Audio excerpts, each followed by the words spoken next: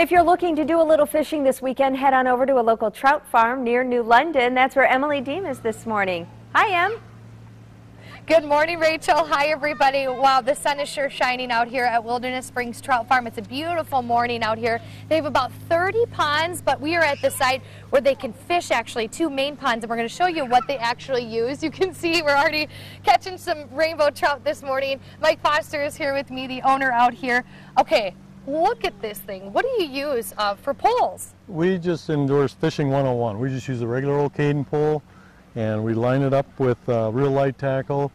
For bait, we just use a whole kernel corn. Look at that. Yeah, anything will work, grasshoppers, crickets, but this is just real user friendly for anybody coming in. You don't get all slimed up. And tell me about how great it is because there's no license needed. You can just come out here and there's no limit. Right. Here our, our hatchery license covers fishing, so you do not need a license, you do not need a trout stamp, and there's no limit. You can, uh, you can virtually buy, catch all the fish you feel like buying for the day. Oh my gosh, this is so cool. And if you take a look at all of them, and check this out, Rachel, we got one this morning.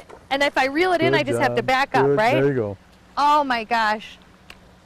You this did it. is just a beauty. I did it, Rachel. Look how beautiful it is. How big uh, are these rainbow trout that you have in here? Um, they're running in that one and a quarter to one and a half pound size range. wow. So it's, uh, it's 14, 15 inches. and it's really what you catch is what you buy, right? Yes, yes.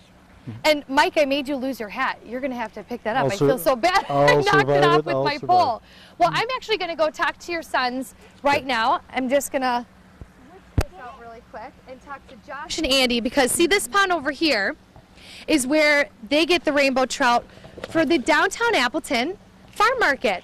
And I got the guys with me here, Andy and Josh. You guys, it's a really cool thing. That's where I met you, and it was awesome to be out there. So just really quick, tell me the process of how you can bring uh, the fish out there. Well, what we do, I get up at about 5:30 in the morning, and this pond right here that you see is where they actually come out of.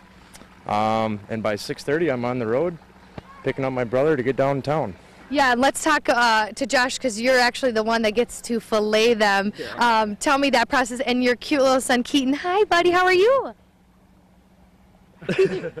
he tried to eat the microphone, but that's okay. We'll get, that. we'll get to that. Tell me about how you actually clean them there at the farm Um, market. At the farm market, basically what we do is we just basically gut them right out and put them on ice for you. It only takes me probably 30 seconds to clean a fish up and you're ready to go.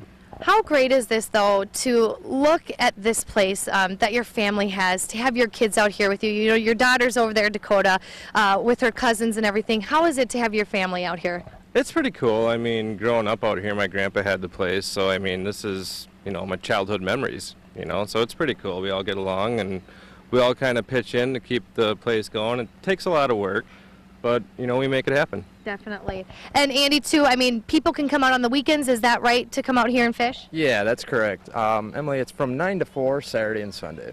You honestly have to come check it out here.